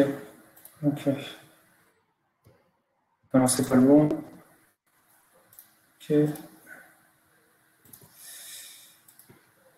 va, on va pas, vous voyez la vidéo transforme ou pas? Moi, je ne l'ai pas du tout. Sur le chat, indique euh, pas à dire. Qu'est-ce que tu disais? Là, c'est bon, vas-y, vas-y. Ça remarche l'écran là? Ouais. Ok. Là, c'est bon, là, on, voit, l'écran. Là, on est en train de monter donc, un petit site. Euh, ok, nickel. Euh, donc, on est en train de monter un petit site internet là, sur lequel je, suis actuellement, qui n'est pas encore en ligne, mais en fait, qui va permettre de fédérer un petit peu euh, tous les gens du projet de réactivation de centre commercial. Donc, ce sera un peu un lieu d'échange, un de rencontre, avec des espaces de sur le, site. donc là, c'est une vue axonométrique du site que vous pouvez voir et euh, sur, le, sur laquelle on commence à implanter euh, différentes actions. Euh, donc la création pour la pizzeria, en concertation avec la pizzaiolo, un petit terrain de pétanque arrière, différentes interventions de, signalétique, parce qu'il y a de, visibilité, mais aussi de représentation de, ce, centre commercial qui ne donnait pas franchement envie d'aller faire ses courses. Donc tout ce travail-là qu'on fait, qu'on essaye de mettre en place pour le commercial. Euh, et donc par exemple, ça c'est un outil qu'on est en train de développer. Sur ce site, euh, il y a des onglets qui vont être dédiés euh, à l'institution et à l'échange avec les commerçants, les utilisateurs, les habitants. Chacun pourra venir déposer son idée et, avancer avec nous euh, pour, euh, dynamiser ce, site. Voilà par exemple un exemple de, projet et de la façon dont on l'aborde. Enfin, je peux continuer à en parler, mais c'est peut-être. Euh, vous voulez peut-être parler d'autre chose, comme vous voulez. ça, donne une bonne, une bonne idée. Après, non, en projet, je je sais pas, en projet, quoi, s'il y a d'autres projets sur lesquels, je sais pas, tu veux parler d'Arvieux bon, peut-être. questions, Sébastien oui, ça marche. il, y a, des questions. Euh, je sais pas s'il y en a une qui sort. Euh. il y a eu une question là, je vois, le rendement est-il aussi garanti? Oui, euh, le rendement est garanti. Oui, tu as répondu, c'est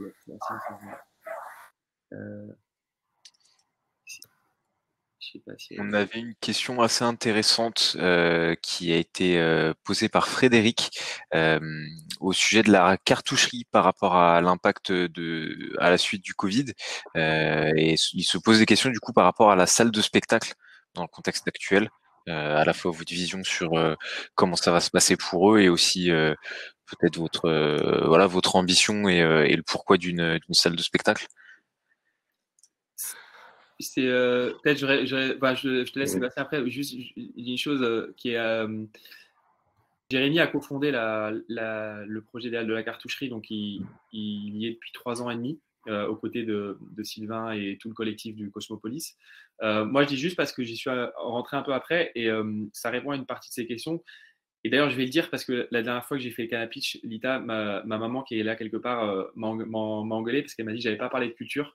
Et c'est pas vrai parce que la culture est essentielle et donc c'est très important au point sur, sur la cartoucherie que les balances entre les projets, et c'est très rare de le faire aussi bien ou, de manière aussi forte que c'est fait sur la cartoucherie, de pouvoir générer, de faire des, des, voilà, des, poches gauche, poche droite entre un projet euh, ou une partie qui est euh, un peu plus euh, rentable et une partie qui l'est moins. Et la, salle de spectacle, en effet, la personne a raison dans la question, c'est un espace qui est, qui est moins rentable, mais par contre qui est tout aussi, voire plus important. Et donc, tout le, la volonté du collectif, c'est justement de, de, maintenir tous ces usages.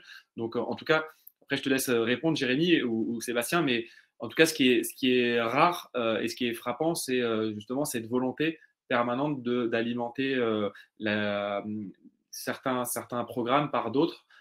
pour et donc la volonté des associés, elle est de, garder en permanence et de faire le maximum pour que la salle de spectacle soit, réalisée et qu'elle ait une place centrale dans le, projet. Je ne sais pas si Jérémy ou, ou, Sébastien voulaient.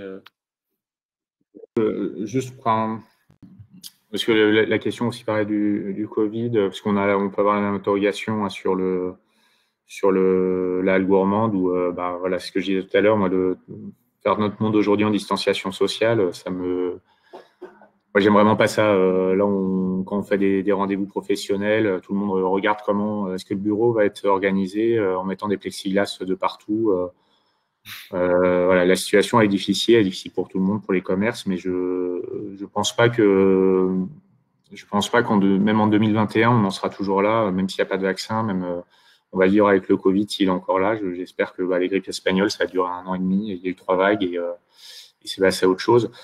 Euh, nous, la livraison de, la cartoucherie, c'est euh, début 2022. Donc, j'espère que d'ici là, on, on aura trouvé des solutions et le Covid sera loin derrière nous. C'est un, une question hein, de, de, dire que voilà, on part sur des modèles qui sont la restauration et la culture, même le sport. Euh, mais, je pense que la, voilà, la vie, la vie est comme ça aussi. On est, moi, je suis très heureux dans l'immobilier depuis euh, quelques années où justement, on essaie de mettre du lien social euh, partout. Et je pense qu'il ne faut pas le perdre malgré, cette crise. Euh, moi, c'est un, point très important. Et, pour répondre sur la partie aussi financière, parce que c'est important sur la culture, pour que vous en ayez bien conscience, euh, la salle de spectacle, ça, représente euh, quasiment un quart de l'investissement des halles de la cartoucherie. Et, en termes de revenus, on n'est même pas à 10%. Euh, et c'est là où je, pense que voilà, quand on parlait tout à l'heure aussi de est-ce que c'est une foncière comme les autres. Alors là, on, a collé à un projet d'un collectif hein, que, que Jérémy a aussi initié, mais euh, on n'a pas modifié ça. On aurait pu dire mais pourquoi pourquoi la salle de sport The Roof en escalade va, payer 65 euros du mètre? Le truc, c'est que si on si on leur demande du, du 150 euros, eh ben le projet ne marche pas. Et, euh, et on veut faire des lieux différents. Et justement, c'est la culture, c'est pareil. Si on demande le même niveau de loyer qu'on a ailleurs, euh, la culture, elle marche pas. On, a comme ambition de faire un, lieu culturel euh, avec euh, la création, la, construction et, même sur l'investissement, on n'a aucune subvention publique demandée dans notre business plan. après, voilà, en exploitation sur certains projets, peut-être sur certains spectacles, on, en aura. Mais l'objectif, c'est de faire sans subvention publique et en culture en France, ça reste quand même assez, assez novateur. Et, en fait, ce sera quelque part subventionné peut-être par la restauration, peut-être par le bureau, parce que ça, ça fonctionne. Euh, voilà, donc c'est un peu les réponses sur le global. Et encore une fois, je crois, je, alors, on est d'un naturel assez optimiste, hein, mais je, notre société, elle va pas. J'espère que le Covid va la faire changer plus dans le bon sens et va renforcer nos liens sociaux plutôt que nous écarter. Ça, c'est un point. Euh, euh, après, je te, laisse, Jérémy.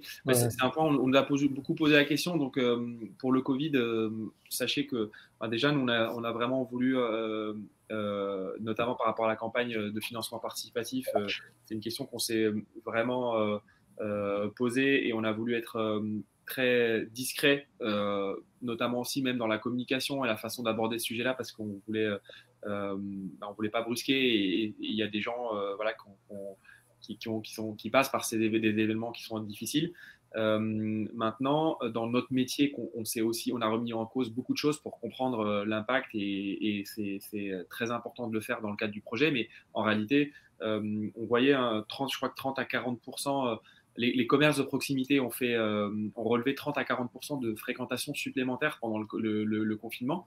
Et en fait, on en reparlait, nous particulièrement, en tout cas moi, je ne sais pas vous qui êtes derrière l'écran, mais j'ai plutôt envie d'aller dans un petit commerce de proximité qui est en bas de chez moi, qui est quelqu'un que je connais, que je sais qui, traverse quelque chose qui est difficile parce que l'activité a baissé, et donc j'ai plus envie d'aller l'aider lui. Euh, euh, et, lui et elle euh, et d'autres, tous les commerçants, même les, acteurs, notamment de la culture, on en parlait tout à l'heure. et donc, je pense, on, voilà, on aura toujours besoin de manger, de manger de manière saine, de, d'avoir un peu de loisirs, etc. Et toutes ces activités-là auprès de chez nous, aujourd'hui, les gens ont tendance à se recentrer vers ça. Et, et c'est là où ben, on a besoin d'avoir des acteurs de l'immobilier qui ben, peuvent euh, accompagner ces, fluctuations-là de manière avec une volonté de, favoriser l'intérêt général et de favoriser la solidarité et, euh, le bien commun, et, etc. Et je prends l'exemple de Sébastien euh, avec Devatou qui ben, a annulé, reporté énormément de loyers qu'il avait pendant le Covid. Et ça, ben, c'est quelque chose d'important. après, les commerçants peuvent ou peuvent pas payer, mais quand, il, quand il peut faire ça, eh ben voilà, nous, on veut euh, participer à cette dynamique-là. Euh, et, ça a beaucoup de sens dans le, dans, le, dans le sens dans lequel on va aujourd'hui. Euh, le projet est d'autant plus nécessaire. Ouais, tout ça c'est essentiel et je rajouterais juste une dimension de, des personnes. En fait, on, s'attache beaucoup aux, aux, personnes qui exploitent, aux projets, aux porteurs de projets, aux collectifs. Euh, il y a quelques questions sur comment est-ce qu'on choisit aussi nos, les usagers en fait des lieux qu'on va porter, qu'on porte. Euh, je pense que ça passe aussi beaucoup par euh, des, des, des, relations humaines.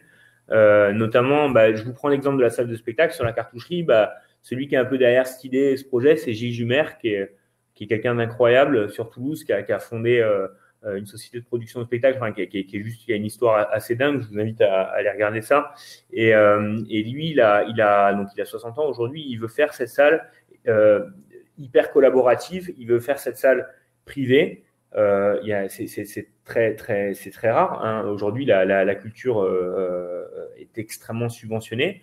Donc, dans son exploitation, on ne paye pas beaucoup de loyer. Ça, c'est parce qu'à côté, il y a des restaurants et qui, qui bénéficient aussi de, de, de, cette image générée par le spectacle. Mais euh, euh, je, je, bien sûr, peut-être que demain on fera. Euh, moi, j'aimerais qu'on fasse que des spectacles qui rapportent pas beaucoup d'argent parce qu'on a la capacité de le faire. Et peut-être que demain, il faudra équilibrer le modèle avec peut-être des séminaires qui rapportent un peu plus d'argent, etc. Donc ça, c'est juste ce travail. Mais ce que je voulais vous dire, c'est que le, le ce, ce, cette salle de spectacle, d'un point de vue collaboratif et comme elle est comme elle est dimensionnée, programmée, elle peut être portée que par Gilles Jumer dans sa conception.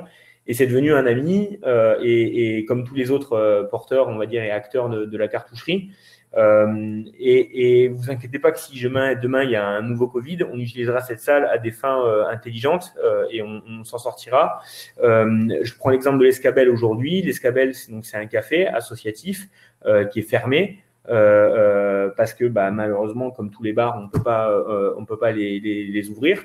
Par contre, bah, aujourd'hui, il y a une association qui s'est créée pour et qui utilise l'espace depuis trois semaines pour fabriquer des masques et en fait permettre à des couturières d'avoir un revenu avec la fabrication de masques.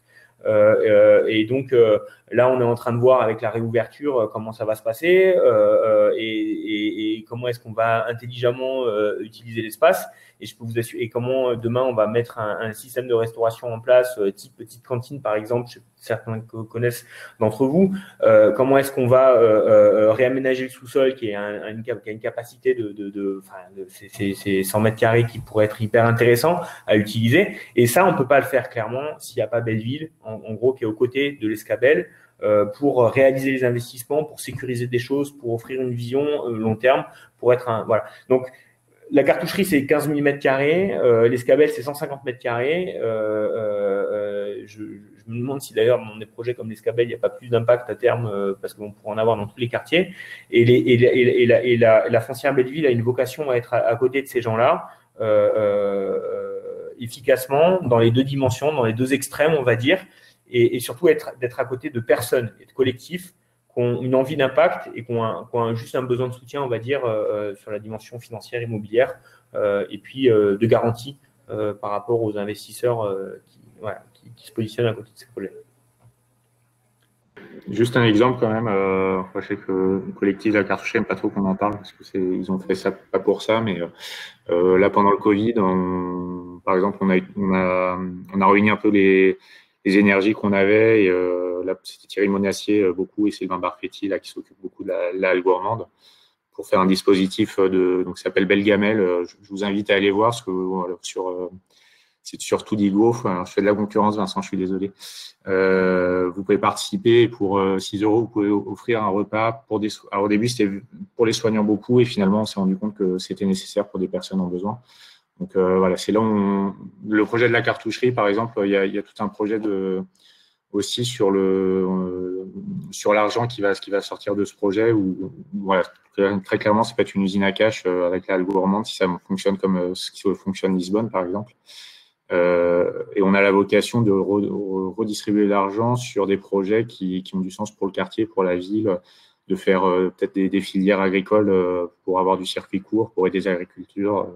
Donc il y a beaucoup de choses. Donc même en phase Covid, comme disait Jérémy, aujourd'hui on a, réussi à créer des choses sur un site qui en plus est pas, réhabilité. Donc je pense quand il sera réhabilité, ce sera utilisé pour, d'autres choses, mais euh, c'est là où on se rend compte vraiment de la force de l'immobilier. Hein. sur tous les, vecteurs de, changement, d'amélioration du développement durable, il y en a plus de la moitié qui passent par l'immobilier. Et euh, si on peut avoir de l'impact euh, très fort sur euh, ce soit social environnemental. Euh, alors malheureusement, ça passe par l'immobilier, parce que l'immobilier, par exemple, est un, des premiers pollueurs. Mais espérons qu'on puisse changer ça. Sur l'impact social, là, on est, je pense qu'on est tous chez nous on est tous restés chez nous, donc on voit, bien l'importance. Et j'en profite euh, par rapport à chez nous, c'est qu'il y a des questions sur l'habitation.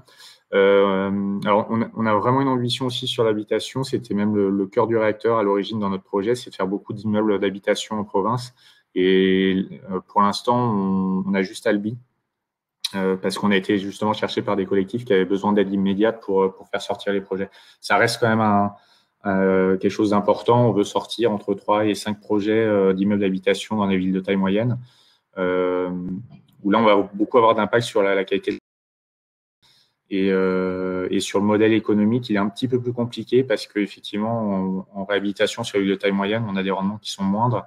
Par contre, c'est beaucoup plus résilient parce que, parce que l'habitation, c'est liquide. Vous si vous êtes au bon prix, vous louez votre appartement en deux semaines, à part, en bon prix et en bon état.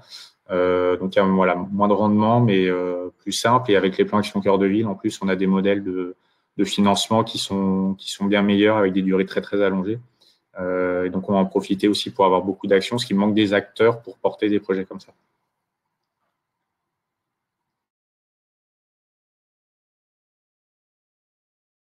Micro.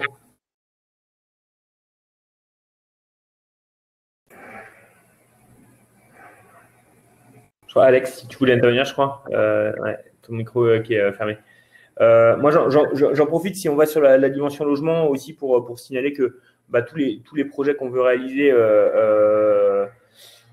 en fait, quand on, fait un projet, on, se pose la question de, ce qu'a besoin le quartier euh, dans lequel le, projet est implanté. Euh, et donc, on discute pour ça avec les collectivités, on discute, on fait des analyses aussi de, des diagnostics sociaux démographiques euh, qu'on croise avec les enjeux aussi économiques, hein, bien sûr. Euh, et, on se dit, voilà, euh, en termes d'impact social, en termes d'impact environnemental, voici les enjeux. Et on ne peut pas traiter tous les projets, tous les, tous les, on ne peut pas maximiser, on va dire, tous les impacts. Euh, euh, il faut faire des compromis, entre guillemets, mais on va essayer de, pousser les impacts qui sont euh, cohérents par rapport aux, besoins, on va dire, du, site. Et, souvent, on peut se retrouver avec des enjeux, par exemple, de logements sociaux euh, et donc là, dans ces cas-là, on va faire des, conventions avec euh, Action Logement, avec euh, avec l'ANA. des fois, c'est non. Au contraire, on est dans une une ville moyenne qui a un centre-ville très vieillissant, par exemple. Il faut remettre des familles propriétaires occupantes euh, dans, dans ces, pour faire vivre le commerce local euh, dans, dans, dans, ces sites. Et donc, dans ces cas-là, on va plutôt avoir tendance à, à, louer à des familles, par exemple, qui viennent d'arriver pendant un an euh, qui descendent de Paris parce qu'ils ont compris que le Covid c'était compliqué, donc ils vont habiter à Cahors. Et, et, donc dans ces cas-là, hop, il va y avoir par exemple de la location ou alors carrément de la vente. donc et puis et puis à un moment donné, on se dit, bah il y a un enjeu à cet endroit-là de, de faire un bar parce que ça crée c'est ça qui, a besoin. Il n'y a plus de bar ou c'est le dernier bar et puis il faut donc mais par contre ça va générer des nuisances. Donc comment est-ce qu'on va faire pour euh, faire euh, voilà pour conditionner mettons c'est le cas d'Albi euh, pour positionner par exemple dans les logements des gens qui sont peut-être moins soumis à des, des, enjeux de nuisance comme des étudiants ou on va faire du co-living. Donc c'est tous ces équilibres en fait qu'on essaie de trouver et de générer bien sûr et c'est là où il y a un besoin d'un travail partenarial très fort avec les, acteurs locaux, avec les collectifs, avec les personnes qui, qui connaissent le, les sites. C'est aussi pour ça qu'on aimerait et qu'on a une vocation à se spécialiser sur deux régions aujourd'hui euh, l'Occitanie et euh, l'Île-de-France, parce que historiquement, on est, présent, euh, les associés sont présents sur les deux sites. donc, on pourra détailler ça d'ailleurs si vous voulez. mais parce que bah, finalement, dans tous ces partenaires un peu institutionnels, la Caisse des dépôts, Action, Logement, les, collectivités, quand on commence à, à, discuter avec des collectivités, pourquoi réinventer la poudre? Des immeubles de rapport avec du logement et du commerce vacant à Cahors, il y en a plein. Bah, si on commence à faire un projet avec Cahors, autant euh, continuer, tirer le fil, ça ira beaucoup plus vite. Euh, ou alors euh, à Albi, c'est pareil. Et donc nous, on a la volonté vraiment de s'ancrer sur les territoires sur lesquels on travaille. Euh, à Arvieux, euh, en Aveyron, on sent qu'il y a un écosystème, on va dire, de, choses euh, hyper sympas à faire. Et peut-être qu'à Rodez, on, viendra faire des opérations assez vite. Et, vous voyez aussi l'effet de développement durable, on le voit bien. il y a un enjeu de. là, on est, vraiment dans des logiques de circuit court, en fait. Donc, je je pense qu'il y a sûrement d'autres questions ou d'autres euh, d'autres marques, mais en tout cas cette, cette, cette composante logement. Alors, regardez, j'étais un, je faisais un accélérateur de projet euh, tout à l'heure avec euh, sur un, incubateur de Toulouse euh, avec une SIC qui s'appelle la, la, la, la, coopérative de l'immobilier, euh, qui est un, un, voilà une agence immobilière donc sous format SIC et donc qui permet de, de, faciliter, on va dire, le développement de, de la réponse à la vacance des projets. Euh, à la vacance des, lieux euh, et, notamment des, logements. Euh, on, peut travailler avec des AIS. Enfin, tout ça, c'est des acteurs, c'est des partenaires qui sont essentiels. Et on pense que le logement est, vraiment une composante fondamentale de notre projet. Il y a peu de tiers-lieux qui ont une composante, une dimension logement. potentiellement, demain, on, aimerait en faire aussi.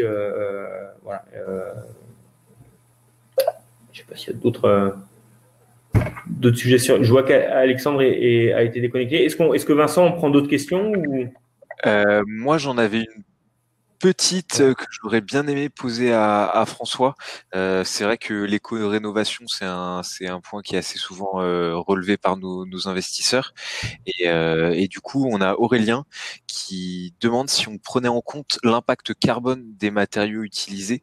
et il il parle de se rapprocher potentiellement du, du hub mis en place par Carbone 4. Euh, je sais pas, François, euh, ce, que, ce que tu sais à ces sujets. Ah, ton micro, François, pareil. Ouais, pardon. C'est bon, on t'entend là. Ah, ah, c'est bon, tu m'avais activé. Ouais.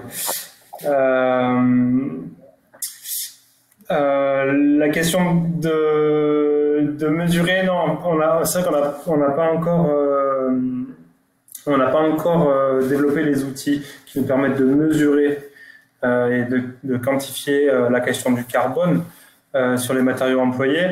Par contre, sur les matériaux sur lesquels on travaille, c'est autant que possible et si possible euh, sur tous les matériaux, euh, chercher à travailler sur des matériaux naturels et, biosourcés quand c'est pas des matériaux euh, qui sont directement réemployés. donc ça va être le bois, la paille, la terre, la brique, des isolants, hein, des isolants comme, comme, comme le chanvre, le métis, etc.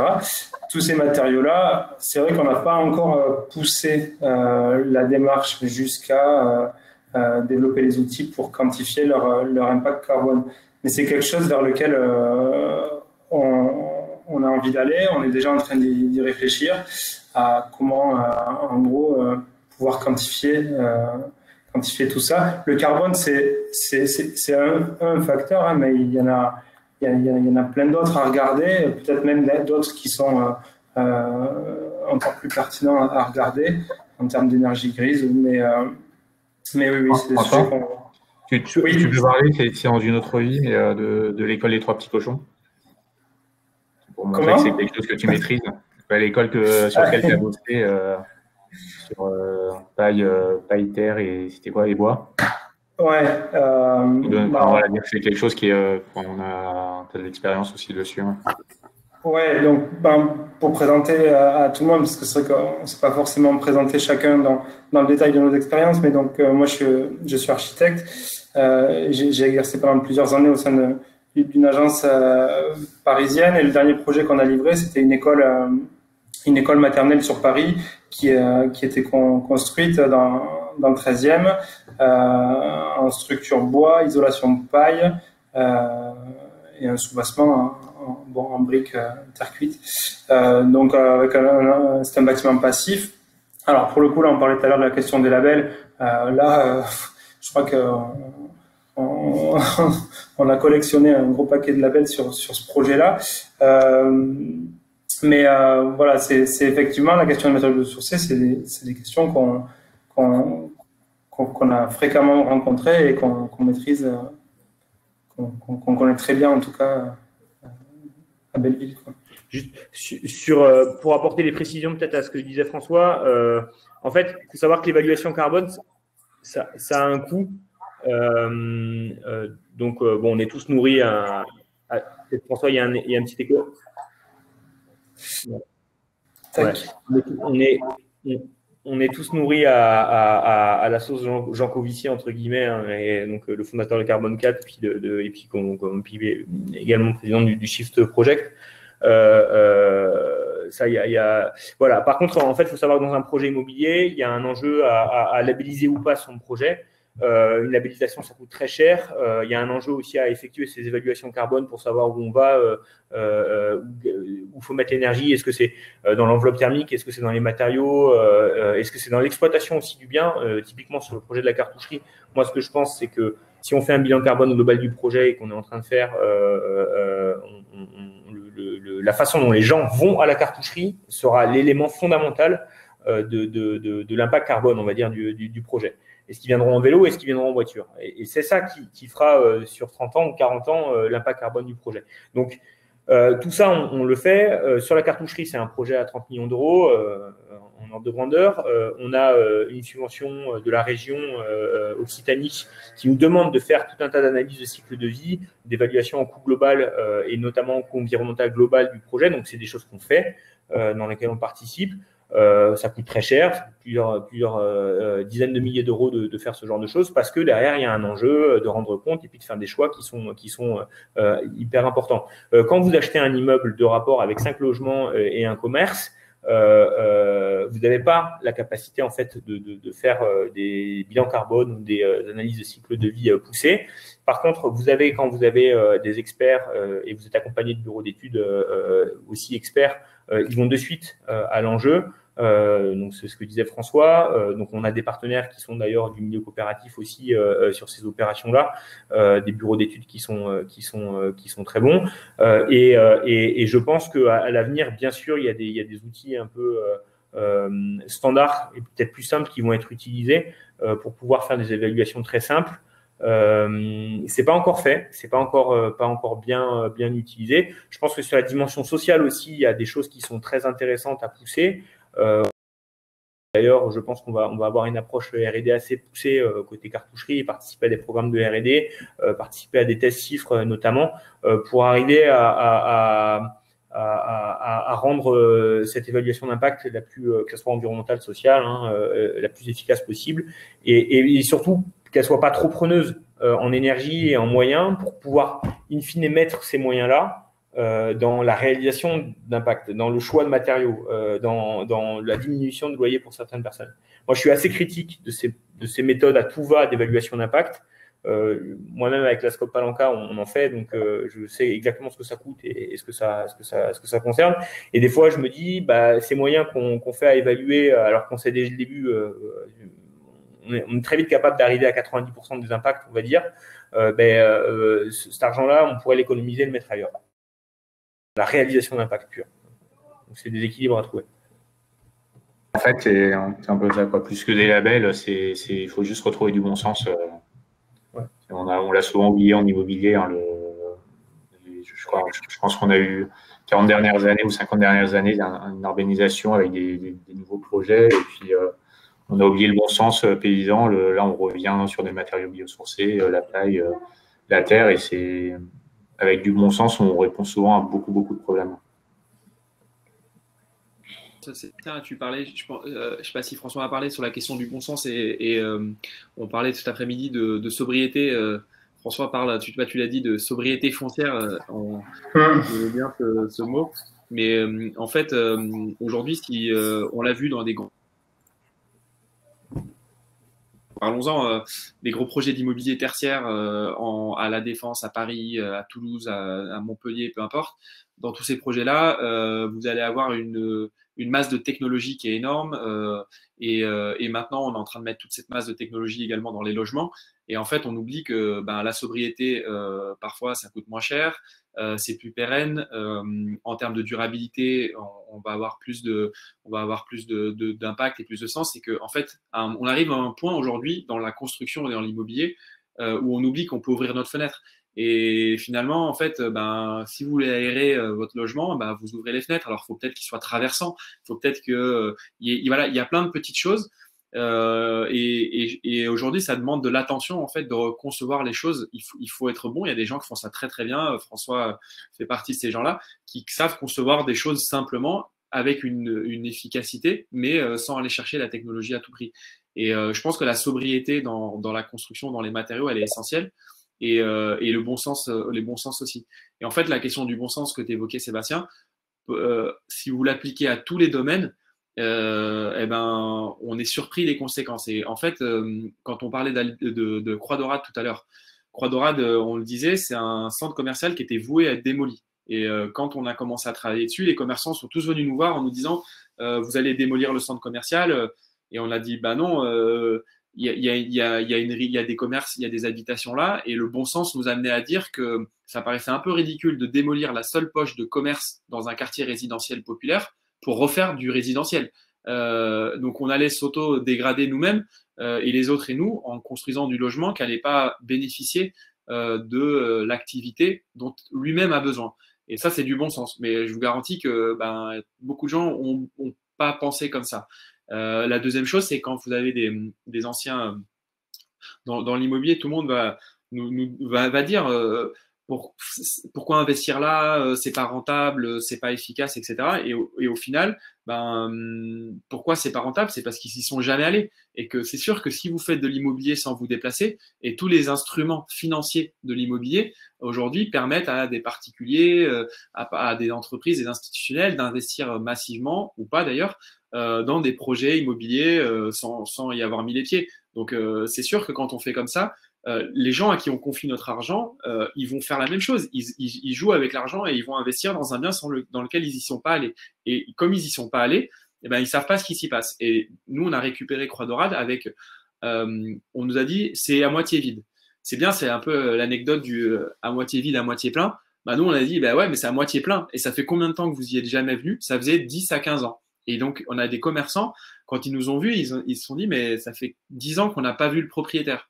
Moi, moi, je suis surpris. Enfin, si on est locataire, euh, quel que soit ce qu'on loue, euh, c'est quand même euh, agréable de connaître son propriétaire et qu'il sache ce qu'on traverse, etc. Et ce n'était pas le cas. Donc forcément, ça marche pas. ça, c'est du bon sens.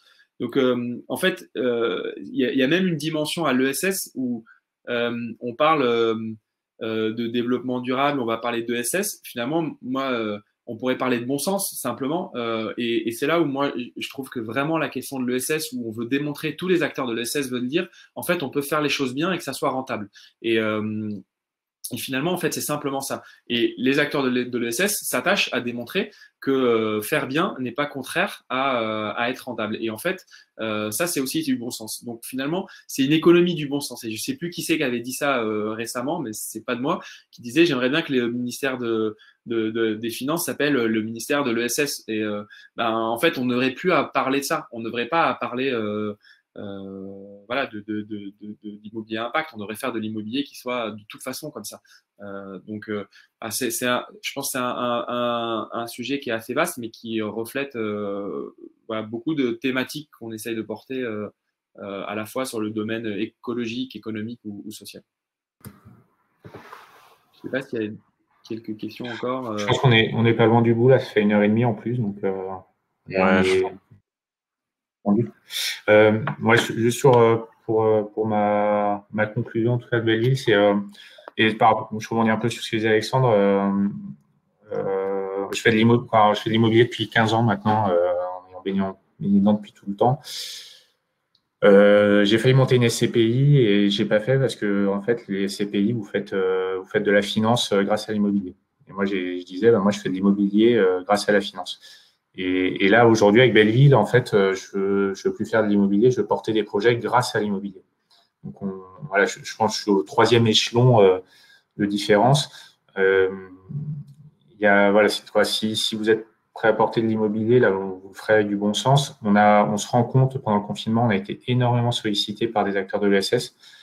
Beaucoup, euh, pour pas dire tous, disent euh, bah, on réfléchit à monter une foncière, mais on ne sait pas par quel bout le prendre nous, on, on, veut, on veut être ces accompagnateurs-là et, en, participant à la levée de fonds, vous, vous nous aiderez à le faire. Et encore une fois, je, je pense que c'est par l'immobilier qu'on a un impact euh, rapide. Il faut, faut, faire d'autres choses aussi. Hein. Il y a plein de belles choses sur l'ITAR et entre autres.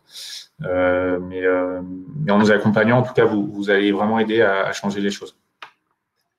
Et Sébastien, je, je rebondis aussi. Je, je disais un, dans le chat un commentaire de Frédéric sur reconstruire la ville sur la ville, c'est vrai depuis les Grecs et les Romains. J'aime bien ça et je voulais juste, je sais pas s'il y avait un sous-entendu à, à, ce, à ce commentaire, mais en fait, moi, ce que je veux, je, je pense qu'il faut laisser très clair, c'est que euh, nous, on est, on, est très humble en fait par rapport à ce qu'on fait. Euh, et on veut pas mettre, euh, Jérémy disait tout à l'heure, on n'est pas philanthrope, etc. Par contre, on a une expérience dans notre domaine et on veut faire les choses bien en fait. Et je pense que simplement, ce qu'on peut dire, c'est juste, faisons les choses bien, faisons, prenons en compte les gens avec qui, avec qui on travaille, quelle que soit la phase du projet, prenons en compte nos, nos, les, commerçants, les habitants. Je vous garantis que reconstruire la ville sur la ville, ça été fait depuis longtemps, mais par contre, depuis que je travaille dans l'immobilier, j'ai pas beaucoup, vu de gens descendre dans la rue, parler aux habitants, alors qu'on va construire 30 ou 40 000 mètres carrés de bâtiments dans leur îlot. Et je sais pas si quelqu'un a déjà venu vous dire, mais moi, de l'intérieur, les gens se disent comment on va faire pour faire semblant qu'on les, on les interroge sans les interroger parce que s'ils nous donnent une réponse, eh bien, euh, il y a une chance qu'elle soit mauvaise pour nous, pour notre projet, parce qu'ils pensent que ça va être contraire à leurs intérêts. Euh, ben, peut-être que c'est contraire à court terme, mais à long terme, ça va ça va être plus durable. Donc là, par rapport au commentaire de Frédéric, je, pense que c'est juste, euh, voilà, nous, ce qu'on veut vraiment, moi, ce que je voulais vous dire, c'est euh, euh on, on, on veut porter quelque chose de humble, de simple, de sobre, euh, de participatif et, euh, et, et, point, et voilà, qui soit dont, dont l'impact est, est, est, le plus positif possible. Après, euh, réinventer les choses, euh, je pense qu'il n'y a pas besoin de les réinventer. Euh, il y a plein de choses qui sont là, et, et notamment d'ailleurs dans, les collectifs avec qui on travaille, on a beaucoup parlé. les artistes aussi, c'est cette dimension-là. Les gens, ils sont là, les projets, ils sont là, les idées, elles sont là, et il faut juste qu'on voilà, qu'on qu travaille là-dessus. Et je, vois la réponse de Frédéric, aucune ironie, non, clairement euh, pas, mais je me suis servi un peu de ce commentaire-là parce que j'ai vraiment envie que euh, on soit, euh, voilà, qu'on voit la sincérité de ce qu'on veut porter. Euh, et, et, voilà, ça c'est quelque chose qui nous, tient beaucoup à cœur. Et stopper l'étalement urbain, oui, clairement, clairement, voilà. Bien sûr, réinvestir les vacants. Euh, tout ça, c'est des, enjeux majeurs. Moi, ma, petite conclusion, je pense que tu as parlé euh, de, de, de, Alex d'humilité. Euh, euh, je, je, pense que c'est vraiment, voilà, on est un des acteurs qui peut participer à améliorer les choses. Euh, il n'y a pas beaucoup d'acteurs dans l'immobilier qui sont, qui sont, qui sont dans ce secteur-là, on va dire, qui ont, cette approche-là. Il y en a quelques-uns et qu'on aime beaucoup et donc on n'est absolument pas les premiers. Euh, je pense que Alex les a cités derrière et donc on s'en inspire beaucoup. Euh, on est à côté des exploitants, on est, euh, on, est à un point d'appui pour eux et euh, c'est pas nous qui, entre guillemets, générons tous les effets positifs de ces projets immobiliers. J'ai bien parlé d'effets, euh, j'ai pas parlé d'impact. Impact, c'est violent. Impact, c'est euh, ça fait voilà. Nous, on souhaite juste par notre action et elle peut être parfois, on peut faire des erreurs. On aimerait avoir des effets positifs, on va dire sur sur, euh, les parties prenantes de nos projets euh, immobiliers. Euh, on sait très bien qu'on n'est absolument pas parfait. vous voyez là quatre mecs, par exemple. Il y a plein d'autres sujets et on, voilà, c'est aussi des effets de proximité, d'amitié euh, et, euh, et, je pense qu'on a beaucoup de choses à, à améliorer euh, à ce niveau-là. on a on a plein d'autres choses à améliorer au fil du temps. Voilà, on démarre, on est on est petit et j'espère que grâce à vous, on pourra on pourra avoir les moyens aussi de bah, d'améliorer un peu petit à petit nos, ce projet qui, qui se veut le plus le plus ouvert possible.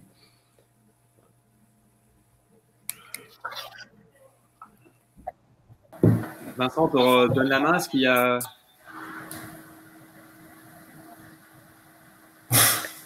c'est, ma petite conclusion. Vas-y, ouais. c'est la pression, là. Euh, non, peut-être, pour conclure, ce que je voulais peut-être euh, dire, c'est que euh, on, travaille sur le, sur, le, sur le cadre bâti, sur, sur, sur le contexte dans lequel les gens vont développer des projets. Et euh, c'est essentiel, on pense que ce cadre bâti soit le, le plus sain, sobre, tout ce qu'on vous a raconté. Mais, mais si on veut avancer vers une, vers une société plus résiliente, euh, une société avec peut-être plus d'avenir, c'est aussi beaucoup sur les comportements qu'il faut, qu'il faut travailler, pas que sur, les, que sur le cadre bâti. Et, et c'est pour ça que dans toutes nos démarches, on, on tient absolument à, à placer l'humain euh, centre du débat. Quoi. Quand Alex il dit on se déplace sur place, on va rencontrer les gens, c'est vraiment vrai. Quoi. On y va, on fait le tour des, on fait le tour des commerces, on va frapper euh, chez le pizzaiolo, on, discute deux heures avec lui, on mange une pizza avec lui et, et, on fait le projet comme ça. Et c'est en lui expliquant comment on voit les choses et en expliquant à, tout le monde comment on voit les choses qu'avec eux, on va essayer de faire euh, évoluer les comportements de tous en parallèle de, de faire évoluer le cadre bâti de la manière la plus sobre possible. Mais je pense que c'est vraiment sur les deux qu'on a envie de, de, travailler et de faire avancer les, les deux ensemble. C'était mon petit mot de la fin. Belle conclusion. ben, on, on, dit au revoir à tout le monde, c'est ça, Vincent? Exactement, je pense que là, on a fait, euh, on a fait le tour. Euh, merci à vous quatre pour. Euh, merci c'est vraiment vraiment bien d'avoir euh, d'avoir les quatre euh, les quatre porteurs de projets présents. Euh, voilà pour les membres de la communauté Lita, on vous remercie aussi pour pour votre présence. on est disponible pour vous sur Lita comme comme d'habitude pour répondre à, vos questions si, si, vous en aviez encore. donc voilà, je vais pas vous vous refaire le tout le tout le blabla qu'il y a sur la fiche avez senti le, le, le, projet porté par, euh, par les quatre entrepreneurs. Euh, clairement, voilà une belle, euh, une très très belle complémentarité de, ces quatre, quatre personnes et, voilà une capacité d'adaptation et une dimension humaine sur, sur un joli projet. Donc, donc voilà, investissez dans Belleville et, suivez l'aventure de ces quatre, de ces quatre jeunes hommes. Merci Vincent. Et peut-être juste un point pour toutes les questions auxquelles on n'a pas pu répondre euh, ou euh, vous estimez qu'on n'a pas assez répondu ou pas, pas bien répondu d'ailleurs, ou, euh, ou si euh, ou s'il y a des, sujets que vous voulez creuser, il y a nos contacts, soit sur la fiche, soit sur les réseaux. on prendra, enfin, on a vraiment envie de prendre le temps de, de, répondre aux questions, et je pense que dans les questions qui ont été posées ce soir d'ailleurs, et, et, les autres questions que vous pourrez nous faire, ben il y a toujours des plein de petites choses à travailler et c'est souvent voilà des, petits points justes qu'il faut qu'il faut creuser et donc on, on, a voilà ça nous ça nous fait euh, ça nous enrichit et ça nous fait mûrir. Donc voilà merci à tous en tout cas et, et on est disponible pour euh, pour répondre à toutes les questions. Merci beaucoup. Ciao, bonne soirée. à très vite. Voilà tout le monde